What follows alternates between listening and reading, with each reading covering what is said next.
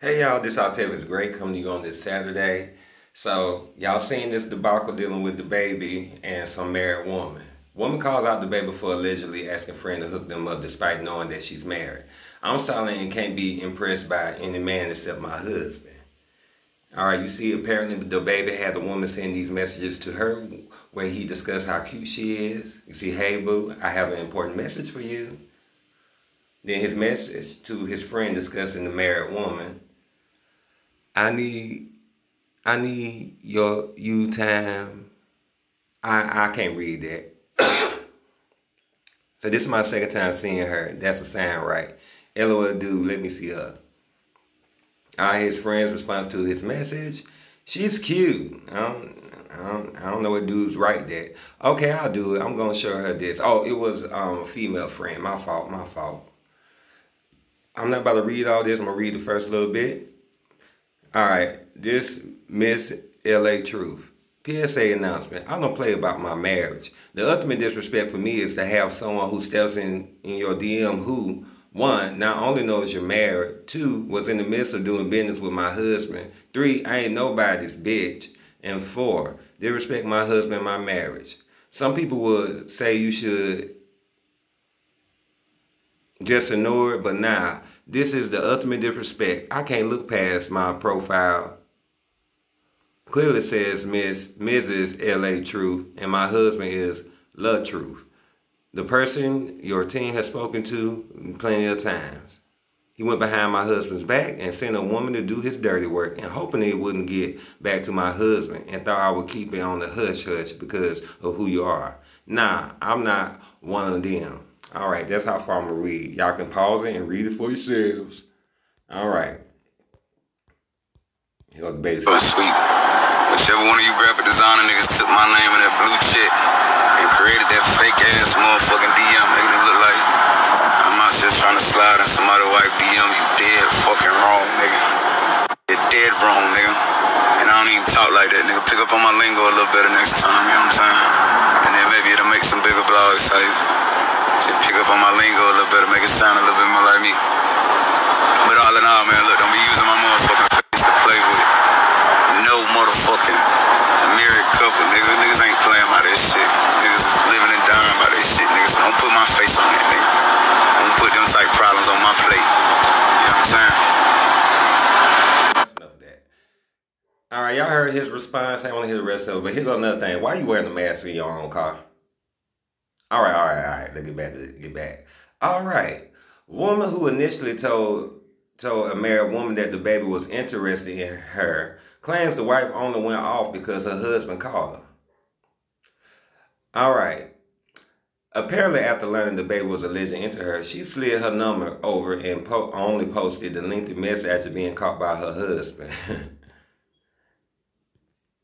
okay, let's go to the next thing.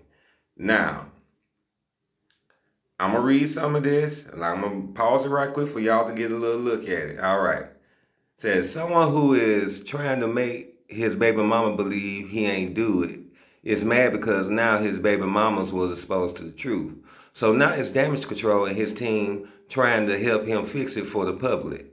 Ain't no graphic designer going out their way to send someone who doesn't follow me or know me from a can of paint to create messages for little old me.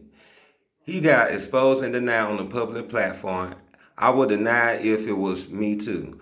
Who the fuck wants to be known at his status publicly being embarrassed and denied? The person who sent these those messages also sent these same messages to his baby mama with my husband's phone number. He had plenty of time to address this with my husband. I said what I said and I'm living in my truth. Ain't nobody gonna bully me to take no post down. That's the truth. I ain't never had to lie about a damn thing. And she wrote and she put another post beside someone who's innocent isn't gonna send threats. All right. Nothing happened, we good. We know what happened and what the pamper did. I'm not explaining to these trolls anything in the comments. They really mad because I declined the pamper. Widows. Girl. All right. This is the last time I'm addressing this. No, I don't owe him no apology. It was him. The phone call that was had this morning was nothing like what his publicist told him to get up here and say. Phone call recorded. Stay tuned for the truth. Someone who's innocent ain't sending no threats. Someone who's innocent would have reached out to my husband personally and said it wasn't him. He didn't. Instead, he had his baby mama call to defend him and later hop on the phone with my husband to send threats. Y'all can fall for the BS if you want to.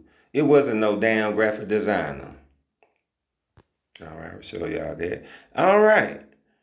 All right, I think this, this is the last, yeah, that's last, last post right here. All right. So, you see right here, whoever Mika is. All right, be real. The message from DaBaby before shot, and they won't, and and I won't tell. LMAO, dude, honestly, I don't even know him. People are very good, but I didn't even expect him to open my DM. That same woman just admitted the DMs were not real, shaking my head. She's sad for that.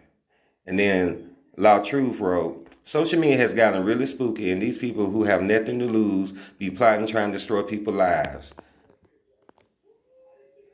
I really don't understand why me, my wife, and DaBaby were targeted by this lady well, you were targeted, but this lady needs to be removed from social media. Excuse me for um, pausing on that. This is a lesson learned on our end because we all got our feelings involved over some chick creating drama who has nothing to lose.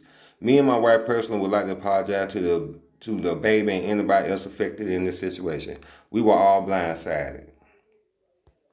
Okay, let me read the caption. Married couple apologized to DaBaby after private messages suggest that the woman who said DaBaby was interested in the man's wife made the entire thing up.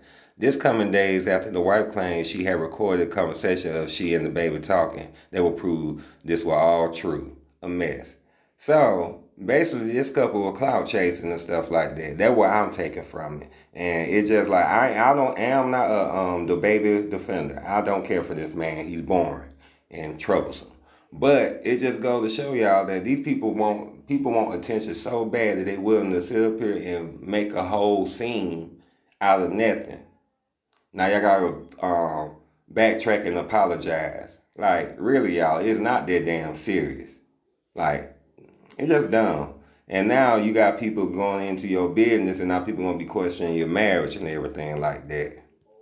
But this time around, DaBaby, you cool. You cool. They ain't got nothing to do with you. Like sometimes I think people is trying to use him to stir up some more controversy because he's a controversial figure. You know, whatever. But I hope y'all enjoyed this video. Please stop clout chasing. It's, it's not healthy for you or the people around you because at the end of the day, eventually the truth going to come out. You're going to look the fool. So this has been Octavious the Great. I hope y'all have a wonderful, wonderful weekend. And I will get with y'all later. Holla.